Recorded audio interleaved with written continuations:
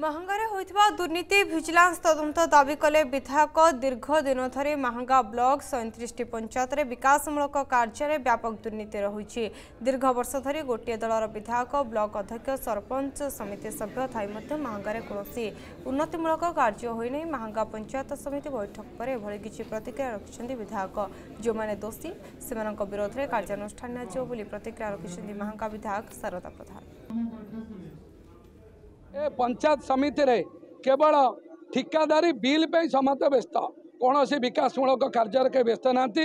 ସମସ୍ତ ବିକାଶମୂଳକ କାର୍ଯ୍ୟ ପଞ୍ଚାୟତ ସ୍ତରରେ ଯାହା ହେଇଛି ସବୁ ପଞ୍ଚାୟତ ସଇଁତିରିଶ ପଞ୍ଚାୟତର କାର୍ଯ୍ୟକଳାପ ତିନି ବର୍ଷର ଆର୍ଥିକ ଅନିୟମତା ବ୍ୟଭିଚାର ଭ୍ରଷ୍ଟାଚାର ବିରୁଦ୍ଧରେ ଆମେ ଭିଜିଲାନ୍ସ ଏବଂ ସରକାରଙ୍କ ଦ୍ୱାରା ଯେତେ ଉଚ୍ଚସ୍ତରୀୟ ତଦନ୍ତ ଅବାକତା ଅନୁଭବ କରିବୁ ଏବଂ ତିନି ବର୍ଷର ସବୁ ଏମ୍ଏନ୍ଏର୍ଜିଆସ୍ର ସ୍କିମ୍ର ମଧ୍ୟ ସିବିଆଇ ତଦନ୍ତ ପାଇଁ ଆମେ ଦାବି କରିବୁ